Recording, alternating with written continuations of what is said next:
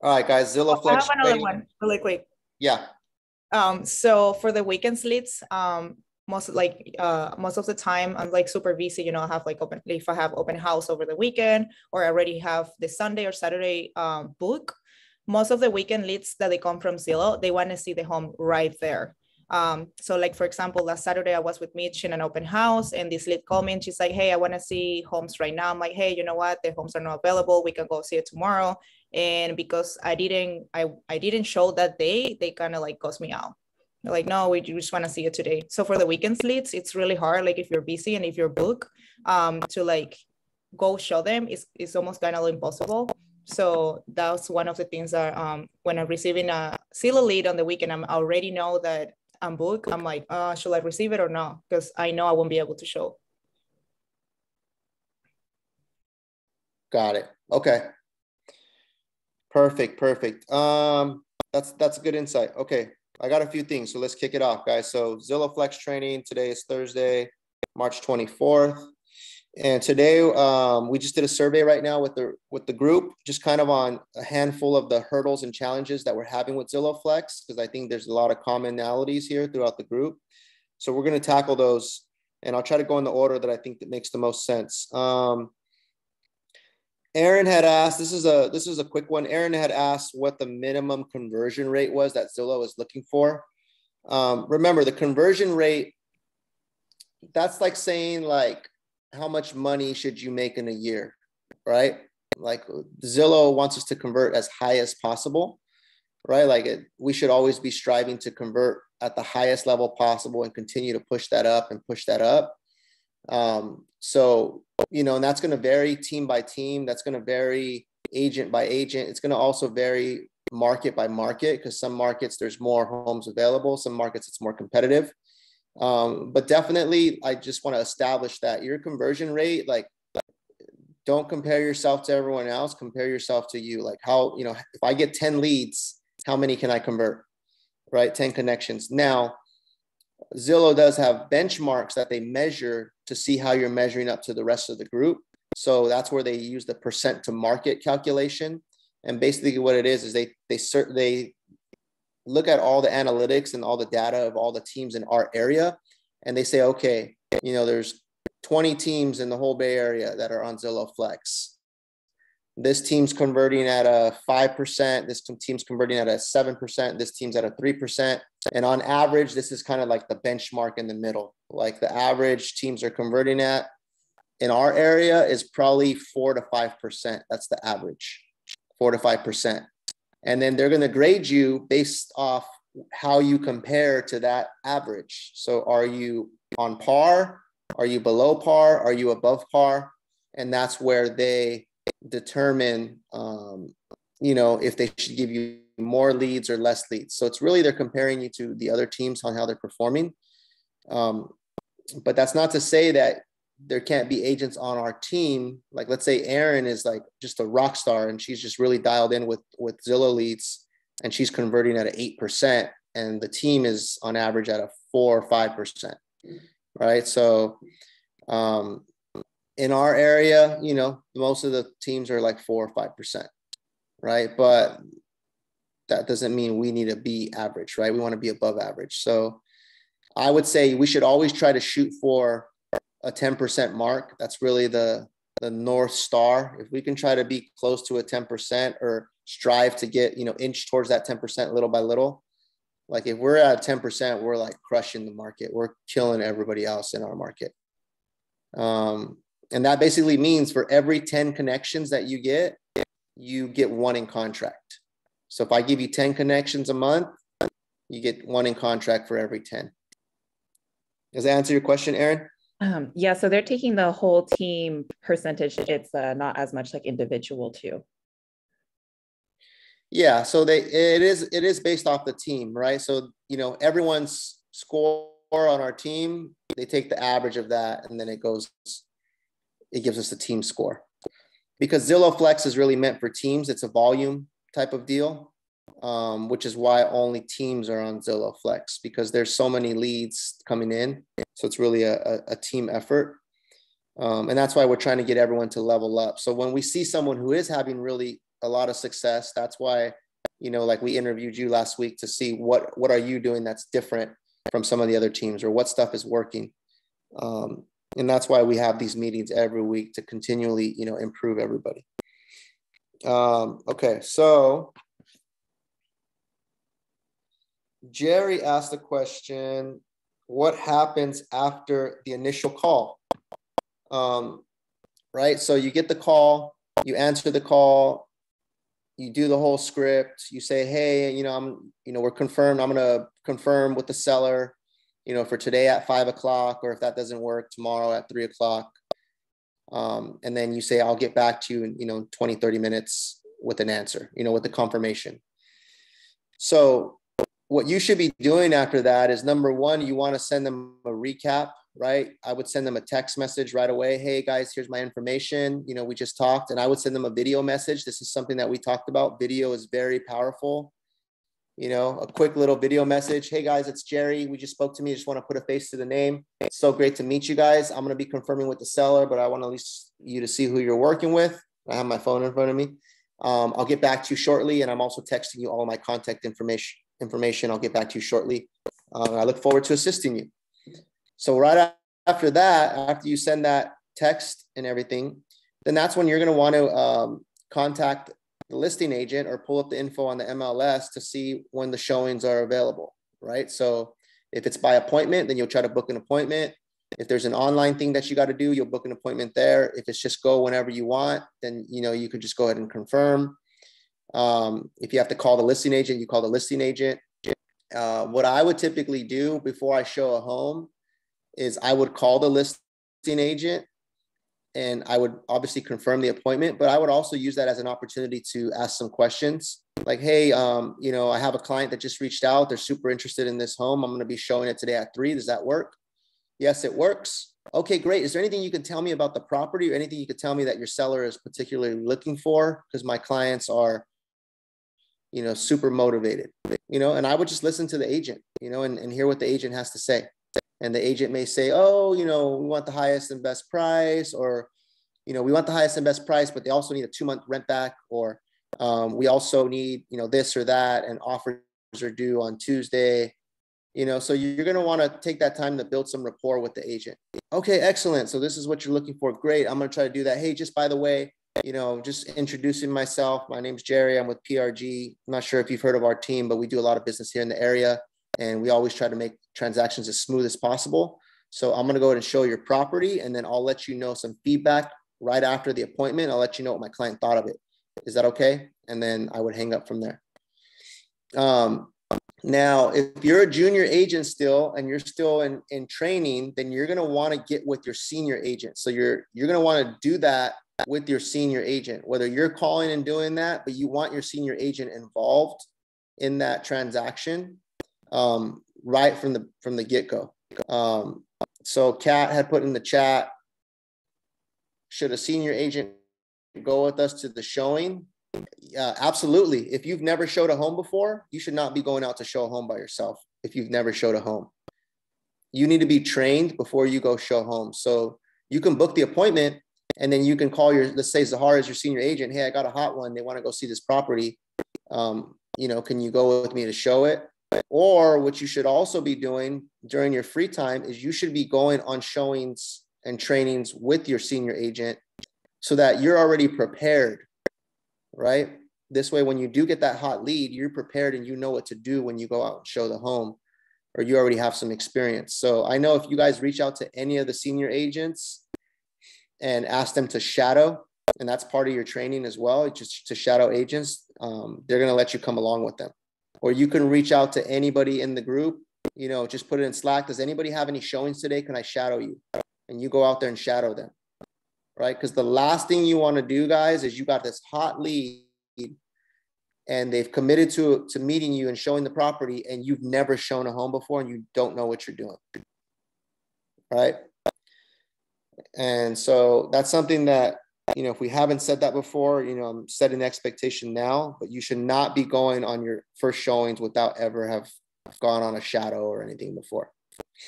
And if you're doing that now, that needs to stop. Um, and I will make sure we talk to the senior agents to make sure that's not happening. And we may have to make some adjustments um, so that you're to make sure you're ready when you do get a, a Zillow Flex lead, you are ready to go out and show homes, you know, and handle it. Um, any questions, guys, on what happens after the initial call, booking the showing appointment, and expectations around when you're ready to show? Okay. Um, awesome, awesome. So the other thing now that I'm just thinking about it out out loud is part of going on Zillow Flex. That's something we're gonna have to also verify that you've showed homes before, that you've gone out and shadowed before you get on Zillow Flex. Because Zillow Flex moves very fast, as you guys can see. Like you got someone that calls today and they want to go see a home today or tomorrow. You know, so if you're not ready, then you just book that appointment and you got to make sure you get someone on that lead that knows how to show homes you know but you should not be going out there unexperienced because then you can you could basically kill that opportunity. If, if you don't know what you're doing and you're fumbling or you don't even know how to open the Supra key box and the client's sitting there watching you like that's that's all bad right there. Um, and it's a you know million dollar lead or whatever.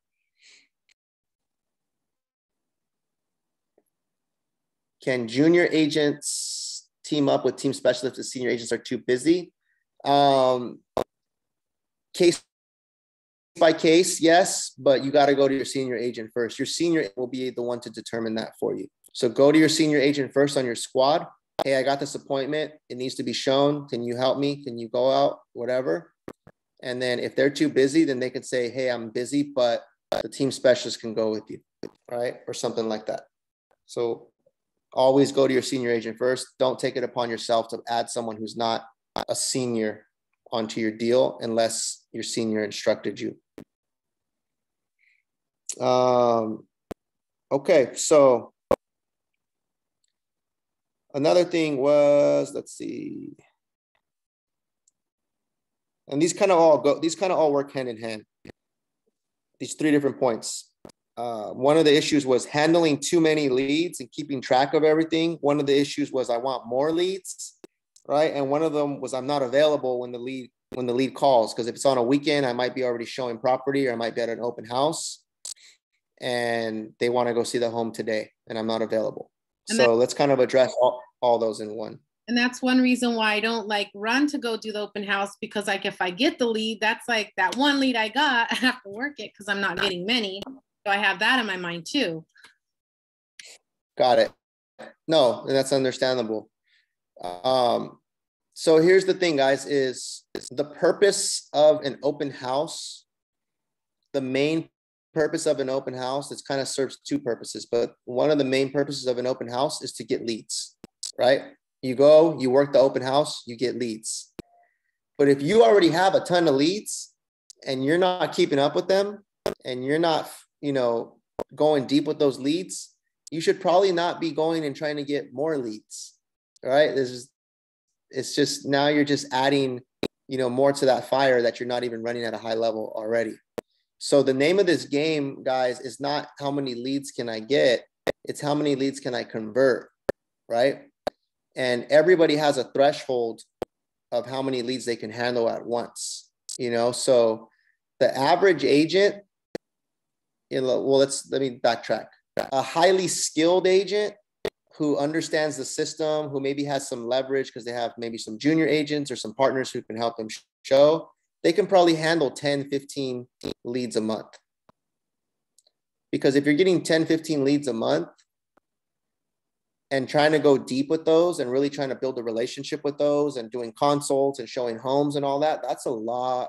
That's a lot of people if you're a brand new agent or you're up and coming and you're kind of still getting your you know your, your foundation set you might only be able to handle like five to eight leads a month because you're just moving at a you're just moving at a slower pace and maybe all the work is falling on you you know because you're not you don't have anybody helping you show and that's fine there's nothing wrong with that it's just knowing like where you stand and what your capacity is and what happens is norm naturally human beings always think more is better.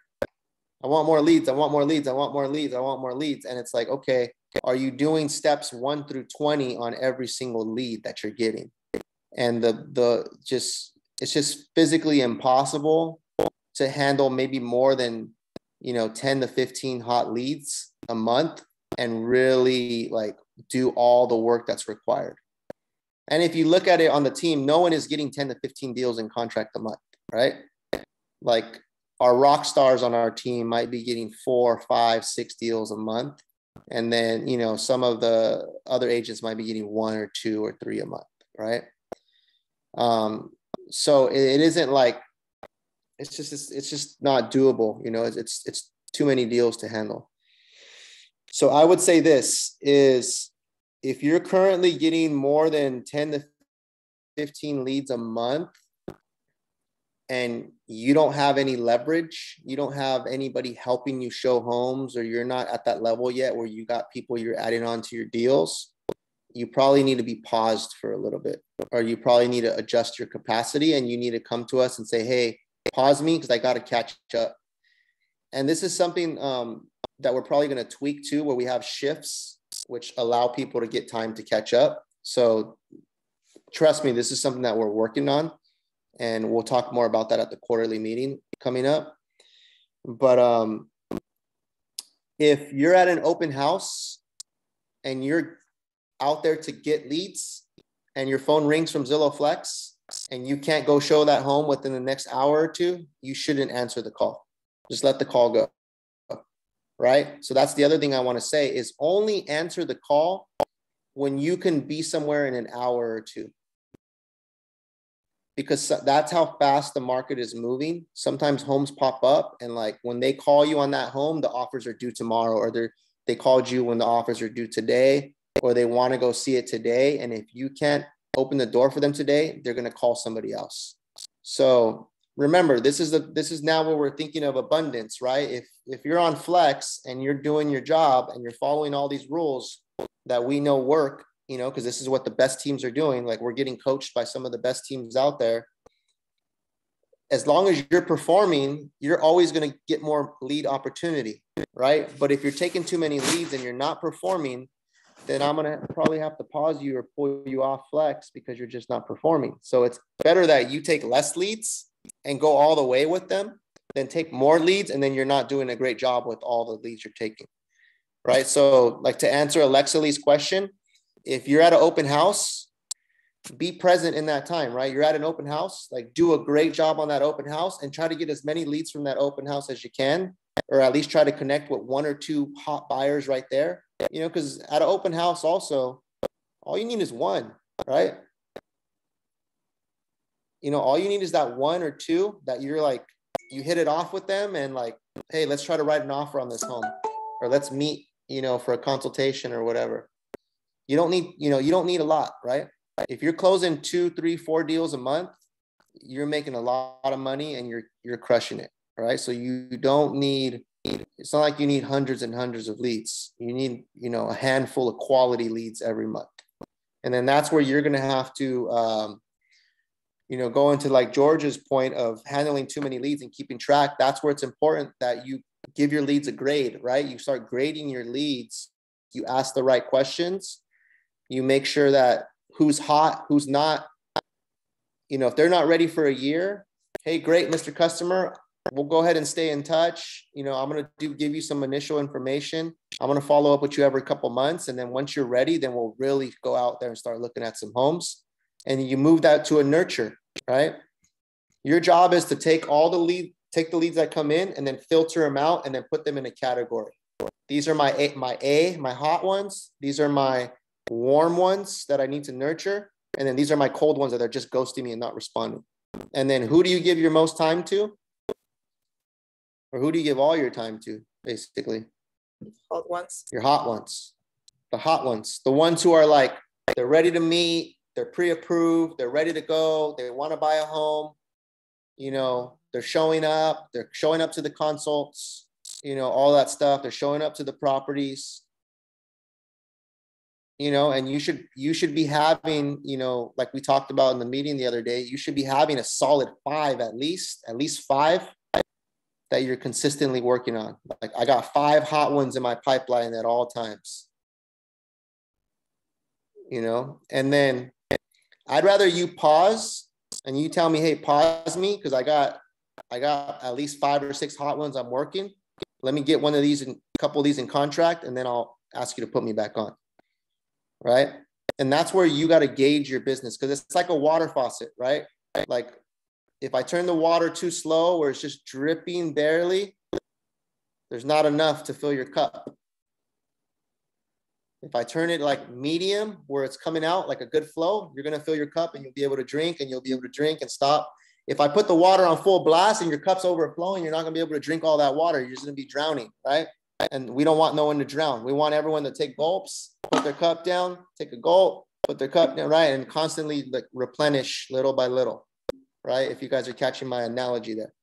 So that's where you guys also need to take ownership of your business and be self-aware and say, hey, I either need more opportunity or I need less, or I just need to call the people that I freaking got in front of me, right? Sometimes we're not doing that. We're not calling the people that we got in front of us we're looking for more, but we like the ones in front of us, we didn't really go deep or we didn't ask all the questions or we didn't follow up enough times. So hopefully that addresses handling too many leads, keeping track. You need more leads if you're not available. Is there any other questions around that part? Handling your leads, needing more leads.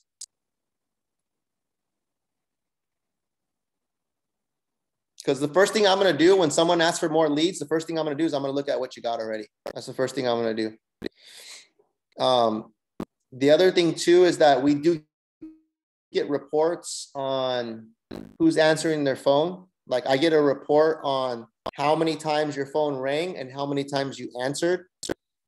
And what I can tell you is that for the majority of the team, they're just not answering the phone all the time. So if you need more leads and you you know you can actually handle more leads you just got to have your phone near you all the time and you got to answer it more right? If your phone's ringing and then you you're you keep missing them because your phone's in the other room and you're doing something else or uh, stuff like that then you're potentially missing that lead that could have went to you. Um, the other thing too is that zillow flex um, does anybody know what voice over ip is it's basically like uh, internet. The calls come in through like the internet, like Wi-Fi calling, basically.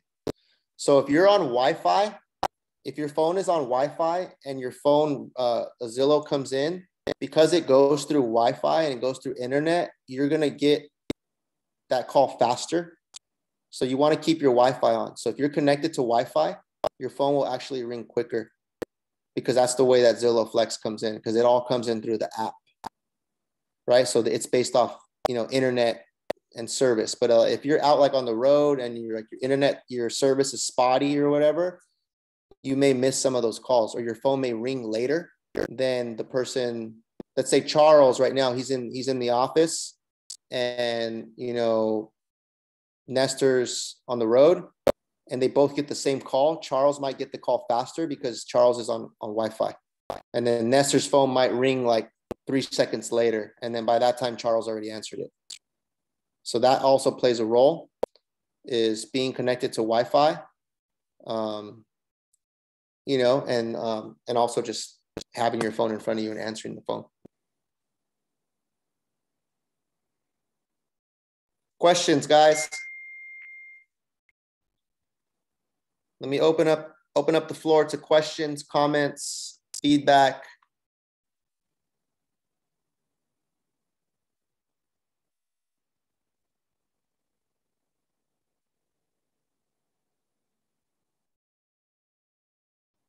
Nothing. Nada. Okay, I have a couple more points here and then we'll wrap up. Um, so one of the points that you guys brought up earlier in the survey was clients having agents already. The home's not available or the client's not ready. Erin, you've converted like three or four that are that said they had agents already, right? Yes. Challenge accepted. So challenge accepted, right?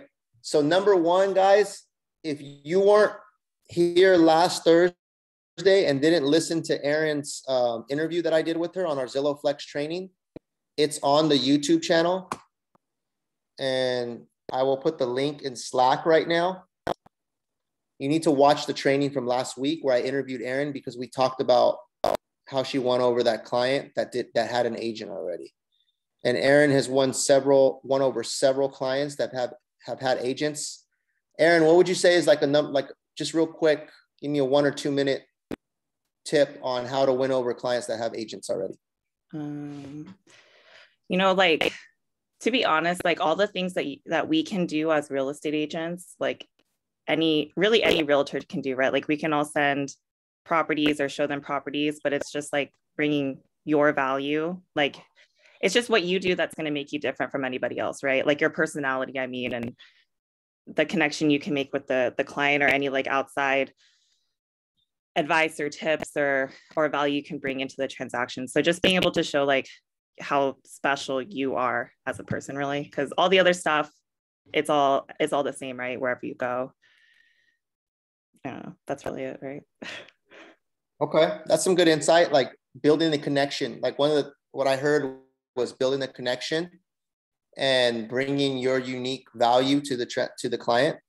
Um, and just think about it like anybody oh I, I play golf right? So tiger woods is like you know big name in golf right? Um, if you give me a golf club and you give tiger woods a golf club it's the same golf club right? We can give us the same exact golf club and he'll do something way more with that golf club than i will. Simply because he's able to bring a lot more skill value whatever you call it right performance to that golf club same thing, it goes like when someone says they have an agent, right? Just because someone says they have an agent, that does not mean that that person cannot work with you.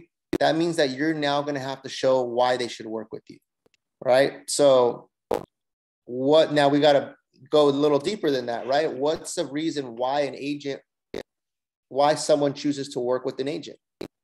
So, let's go around. Why do you think people work with an agent? Why does someone choose to work with an agent? Real quick, my boyfriend always says just because there's a goalie doesn't mean you can't score. hey, there you go, right? I like that. I like that. But what's one of the reasons, Erin, why someone would choose to work with a particular agent? Just one. Let's go around the room. Uh, trust. Trust. Okay. Trust is one of them.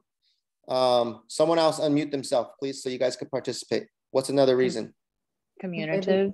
Oh. What was that, Connie? Uh, you communicate well with your client. Communicate well, right? So you're effective at communicating. Um, Tyler. Knowledge. Knowledgeable. Market knowledge. If you're local, you're going to know that market better. Yeah. So local market knowledge, your knowledge of the game, your knowledge of the process. What else? Uh, the agent's dedicated to work the client. So commitment, you show they show commitment, right? They show their dedication, their work ethic, right? What's another reason? There's a big one that you guys didn't that you guys didn't mention, a, a huge one. Building rapport. There you go. Bam. Building rapport, your connection to the client, how you connect with them.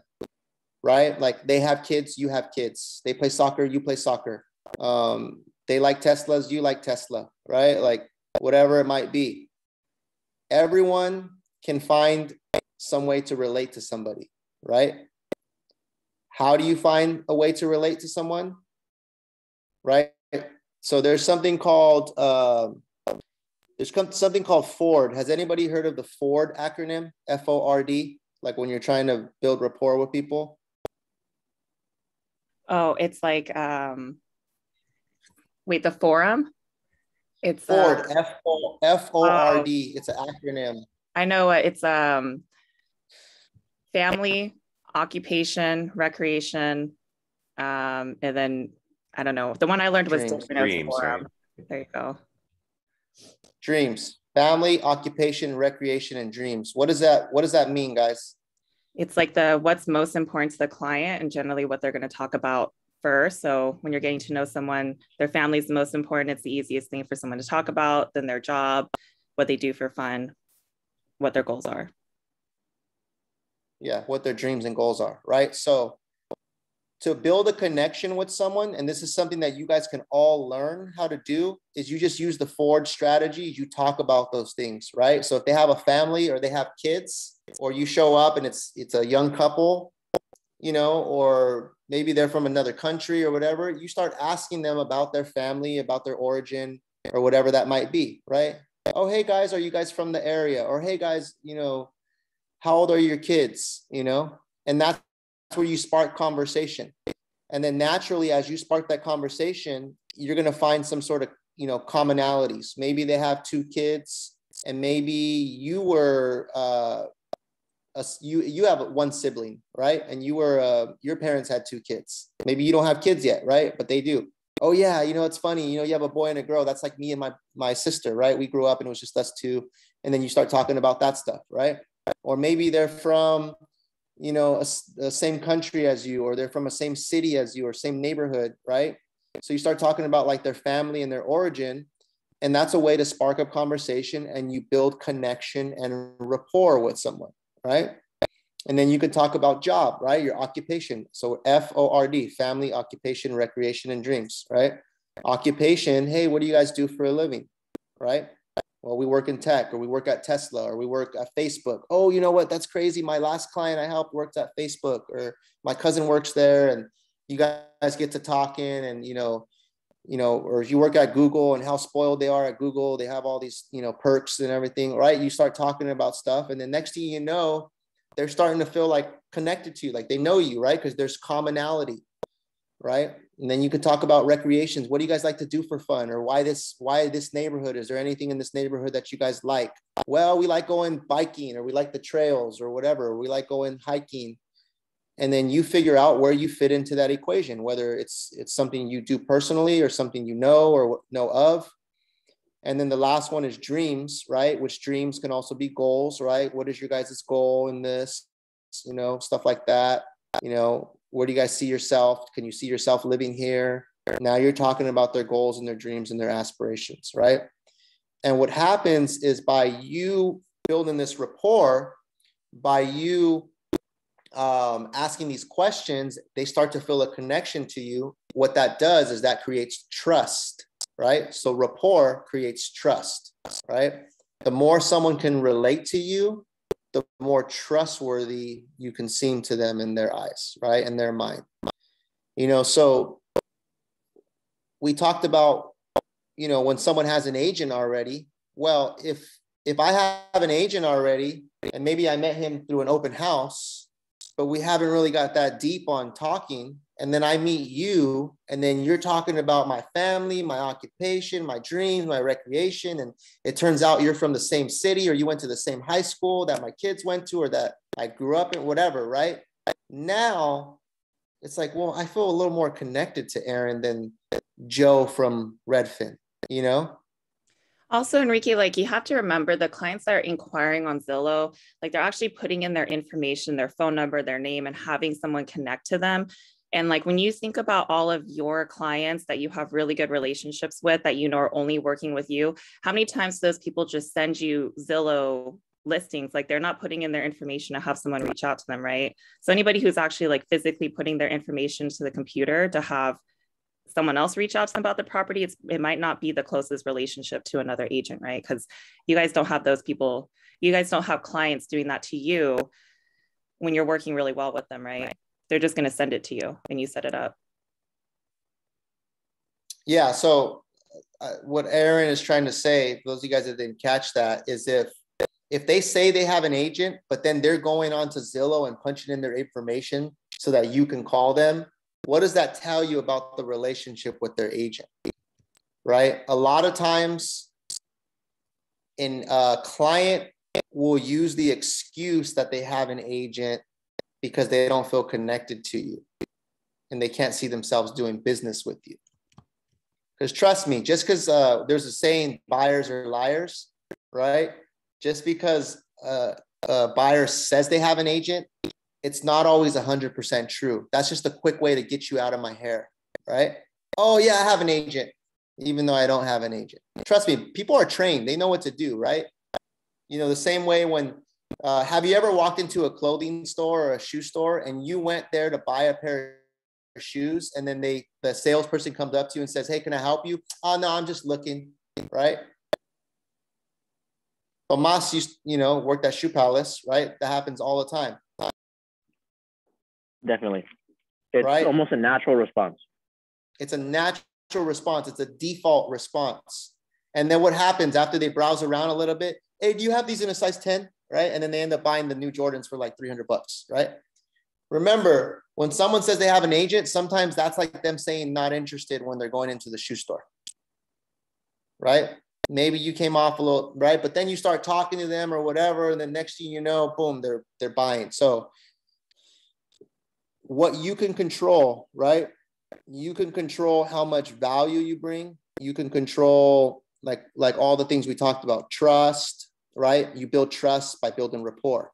You build trust also by by showing your credibility by bringing value when you show up to the to the presentation or to the showing. So let's say let's give two scenarios right? I get a zillow flex they want to see the house in an hour. Boom, boom, boom. I scramble. I make it happen. I show up there in an hour and I show up and I'm speeding and I'm rushing, you know, because there's traffic. I get there. I open the door for them and I come with nothing. It's just me talking, right? And I show them the house. And then, you know, maybe I'm a good talker, but I'm trying to get them to, you know, work with me. And maybe I just didn't hit it off with them, right? Like I didn't ask enough questions about them. I didn't build rapport. I was just trying to go straight to like, hey, offers are due tomorrow on this one. We need to move fast. And this is why you need to buy this home. I sound like a freaking salesperson, right? Like there's no trust there, there's no credibility. I sound like I'm just trying to close them. That's agent A, right? And then there's agent B. I'm going to just use Erin. Erin shows up. Before she shows up, she prints out comps of all these properties, of the property that they're looking at. She prints out a market report she brings five other properties that are similar that are available. She brings, you know, prints out our buyer presentation. She brings her business card. She brings some snacks. She asks the client if they want Starbucks on the way there. She shows up early because she booked the appointment strategically, even though they wanted to see it at five, she booked it at six because she knew that Six would give her enough time to prepare and get there and show up early and be waiting for the client instead of the client waiting for you. Right. And then when she meets the client, she starts asking them questions using the Ford strategy, F O R D, about their family, occupation. Next thing you know, they're laughing.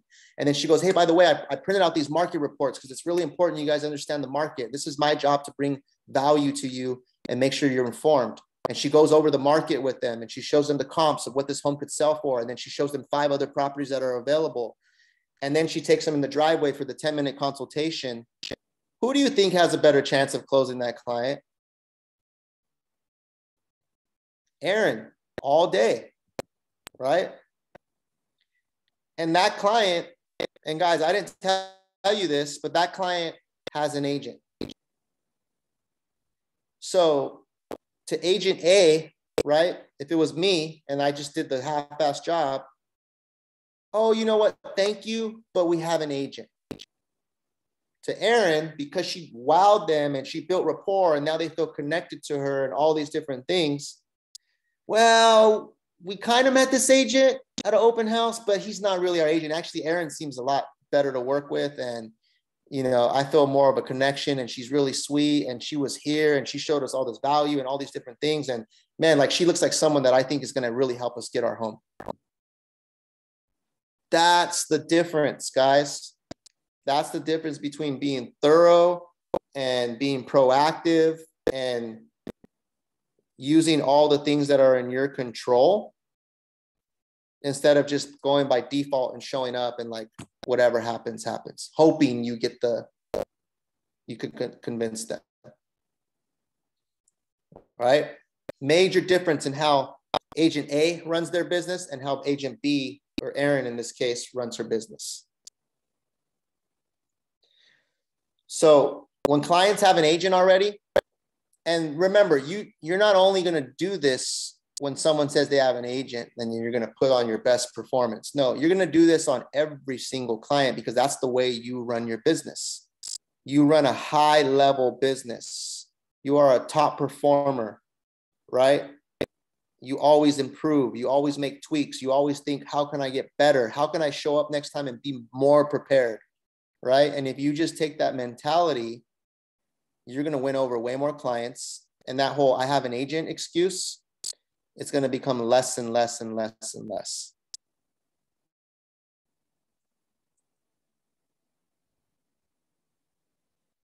Um,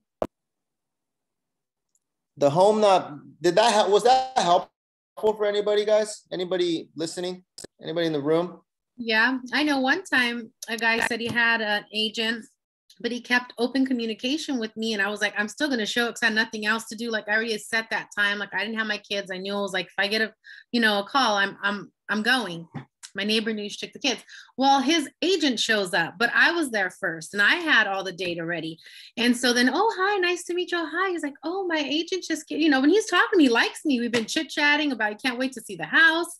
He's like, oh, yeah, that's my agent. I said, oh, okay. So the agent, I said, good. I said, well, I'm pretty sure she's not going to have this. So I'm going to leave it to you because you're going to need this. This is the data. This is our current sales. And as she's walking up, so go ahead, you can have it. I, I made it for you. Then he texted me later, like, oh, I'm so sorry. That was so awkward. Like, I didn't realize, like, you know, you're an agent too, and blah, blah, blah. But he worked with her. Yeah. And that's going to happen, right? That's going to happen. But here's the thing is, is there's no guarantees in this business, right? So you, you, whenever you get the opportunity, you got to go shoot your shot and you got to go shoot your best shot right? And if you do that enough times, you're, you're going to win. You know, so if you have the ability and the availability to go out there, right, and the capacity, and you're able to go out there and shoot your best shot and be prepared, you're going to run into some once in a while where maybe they do really have an agent, you know, but that doesn't mean you don't go out there and you don't practice your shot and you don't shoot it and you don't give it your best attempt. And, you know, we've, there's a lot of there's a lot of examples on our team where they started off with one agent and then a couple weeks later they called us because that agent was dropping the ball. Or you, know, you Erin had that one.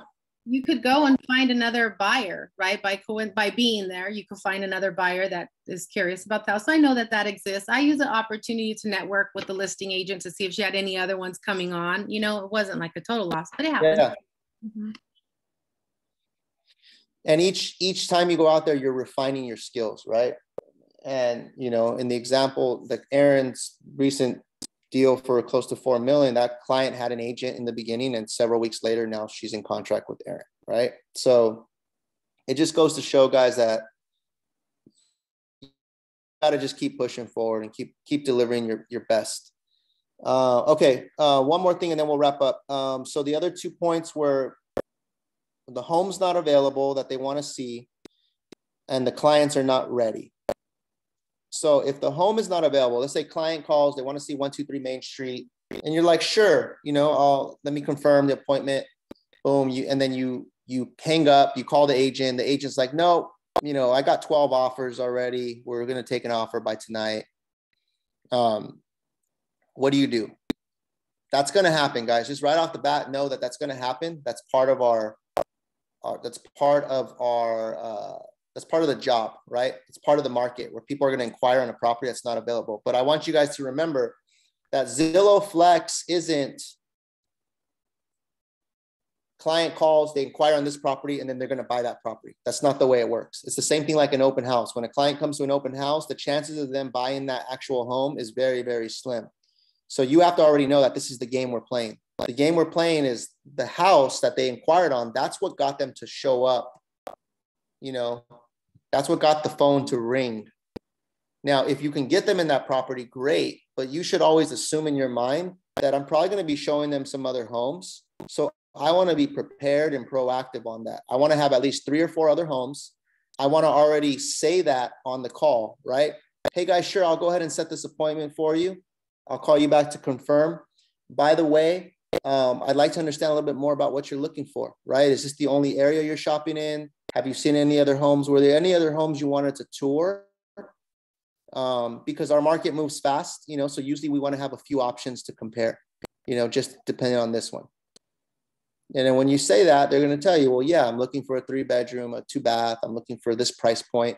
Great. So I'm going to confirm for this one. And then I'm also going to pull up a few more that match what you're looking for. And then we can add those to the tour. Right. And then that just needs to be part of your practice every single time. I would never try to go out and only show one home. Because the because if you do that, then you're like putting all your eggs in one basket. And we already know the way the market moves that it's a slim chance they're even going to get that home, even if they did like it. They might be competing. So if you have a few more options and you already have some time, you're already out there and you show them four homes or three homes instead of just that one, now you've built some connection with them because you're showing three homes. You spent a lot more time. You guys are chit chatting and talking and your likelihood of them working with you and not ghosting you is is a lot higher. Um, the last part, guys, just clients not being ready. If a client is not ready to buy a home, you know, either because of finances or just the timing's not right, there's nothing you can do to speed that up all you can do is provide information and ask questions. But like if I just if I don't have the money, I don't have the money, right? But, but that doesn't mean that's not a good lead. That means it's just some something that you're gonna have to keep working on, right? So I would still take that lead. I would still service them. I would ask questions to understand why they're not ready now. And then I would also propose, like, hey, well, what if you know we were able to find you, you know, a good deal now? Would you want to know about it? Or what if, uh, you know, maybe I could have you talk to my lender. They have some other options, you know, for lending. Maybe you might be able to get pre-qualified sooner than you think. You know, I'll have them come on the call with us. You know, so this is now where you're you're providing solutions and you're asking questions and you're understanding why they're not ready and you're figuring out how you can you know create a solution for that and um, if at the end of that they're still not ready, then it just becomes a nurture. You know, but you want to exhaust those options at least, and you want to at least see what you can do before you just kind of throw in the towel and give up. And let's say after that, they're just they're just not ready. They need to save more for their down payment. Okay, great. You know, at least now you've talked to the lender. Now you need now you know how much down payment you need. Um, when when do you think you might be ready you know six months okay great let's stay in touch i'm going to keep you up to date on what's happening in the market over the next six months you know I'll, I'll, check in on you periodically i'll send you some properties at least you can you know know what's going on and what homes are available and then you know when it gets closer to six months then we can really start looking at this again and then your job is just follow up with them every couple months that's a nurture and that's really the game, guys, is you take these leads in, you figure out where they fit, hot, warm, cold, and you try to fill up your hot bucket and your warm bucket, and then you nurture these guys, and then you service the heck out of the hot ones, right? And then you just constantly replenish. And then your warm ones turn into your hot, and it's a cycle, right? That's really what it is. And that's how you keep a healthy, healthy pipeline. Um, time is up, guys we covered a lot of stuff today. Um, really quick, in the chat, what was your biggest takeaway today? Just write it real quick and then we'll wrap up. What's what's one thing that stood out for you during this session?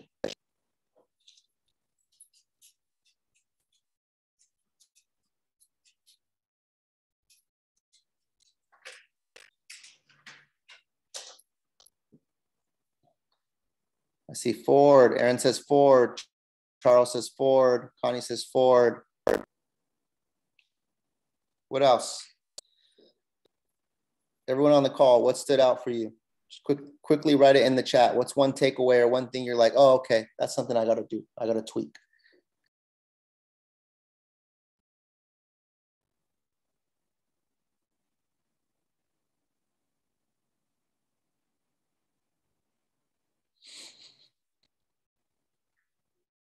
Making sure you're on Wi-Fi for Zillow calls. Focus on the hot clients. Also check on your nurtures to not lose out on potential business. Yep. need to be working at least five hot ones. Don't answer Zillow call if you're at an open house. Yep.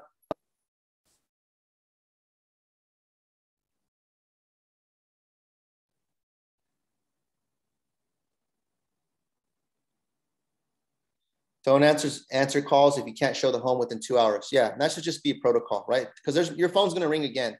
So if you already know like you can't really do anything in the next couple hours, let someone else grab it, you know, and you're gonna get another opportunity.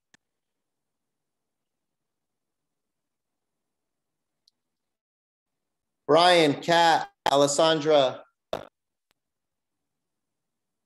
Who else? George. What was your takeaway? Don't lose hope, even if they have an agent. Go deep with what's in front of you before chasing other squirrels. Yes, sir.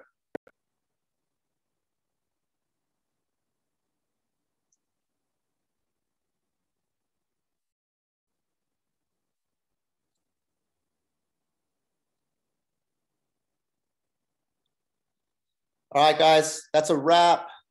Thank you. Hope you guys got some nuggets. If you need anything, Alessandra said follow up. Remember, guys, this stuff, I know I'm going over, but there's, I got to make this point, right? If you want to be a high performer, guys, you don't only you don't only learn and you study like during these sessions. You got you now got to go out there and implement and practice this stuff. That's just the bottom line because I said a lot of things today, right? And this is so many things that you're not going to take all of it in, right?